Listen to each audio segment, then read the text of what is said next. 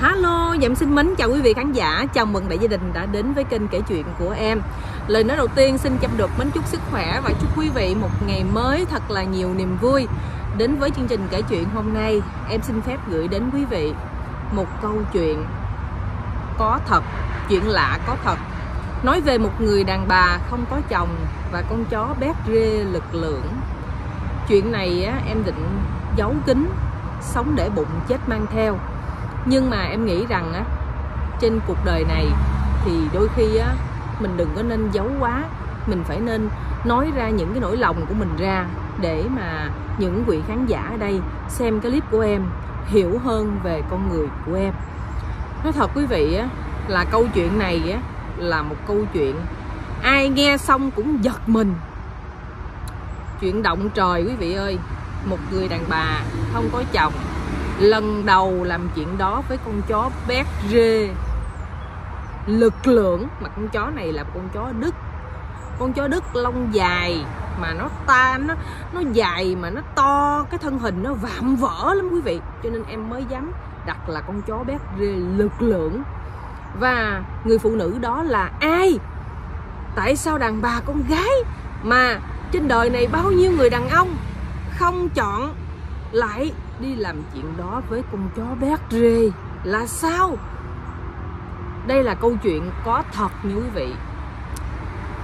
Em nói thiệt á, em sợ. Nếu mà em nói ra thì sẽ có nhiều người chửi em lắm. Tại vì người ta sẽ nói bệnh hoạn hết mức. Tại vì á, chỉ có những người bệnh hoạn mới đứng kể những câu chuyện như thế.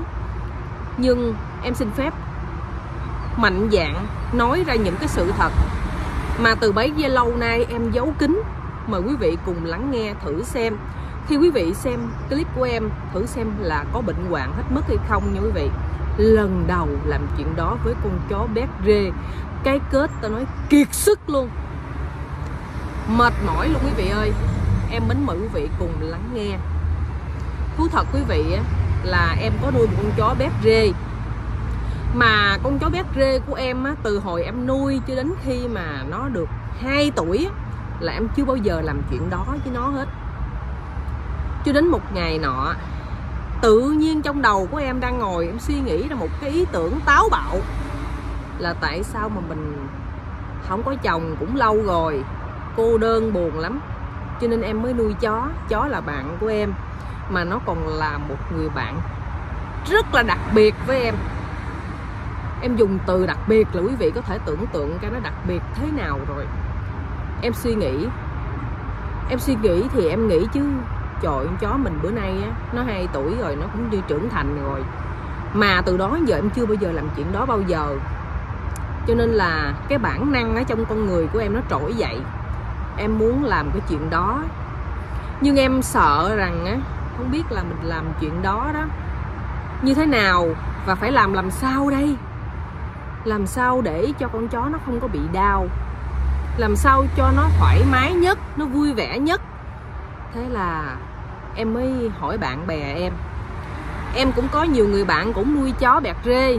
Và mấy nhỏ bạn em á, nó nói chứ, nói thiệt là tao cũng chưa làm chuyện đó bao giờ, cho nên tao cũng đâu có biết đâu mà chỉ cho mày ông ấy à, mày à, tìm trên google sách báo đi tìm đâu đó rồi có người, người ta có những cái kiến thức đó người ta nói cho mình có kinh nghiệm.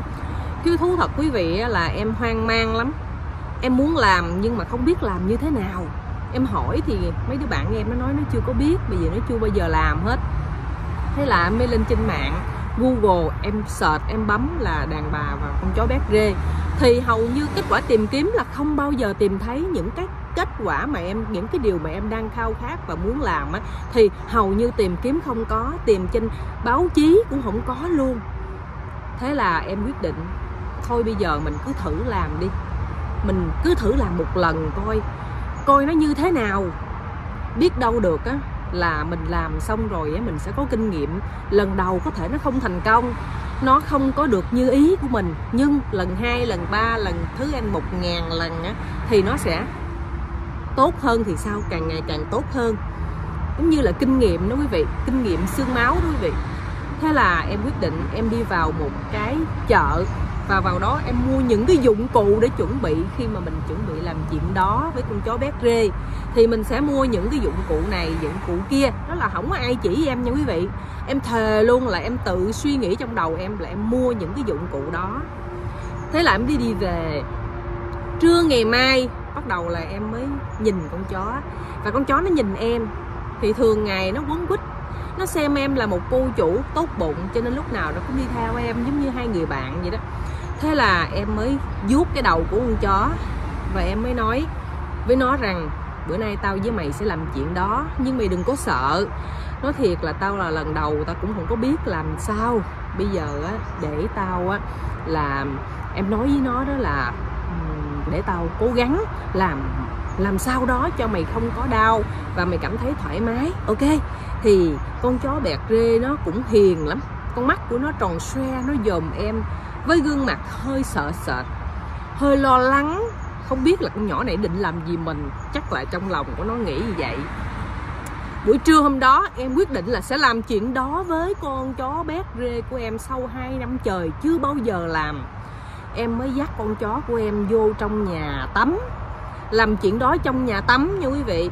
Ở trong nhà tắm á, thì con chó đó nó bự quá đi em sợ là lúc em làm á, nó sẽ vùng vẫy nó sẽ chống cự và nó chạy. Cho nên là em đã lấy một cái cọng dây xích chó em móc ở trên cái cổ của nó và em cầm giữ lại để cho mà nó có động đậy á, thì mình giữ cái dây đó lại thì nó không có chạy đi đâu được. Nó phải làm cho đến hết mới xong mới được. Đối với em á, là làm cái gì thì thôi không làm thì thôi làm là phải làm cho tới nơi tới chốn.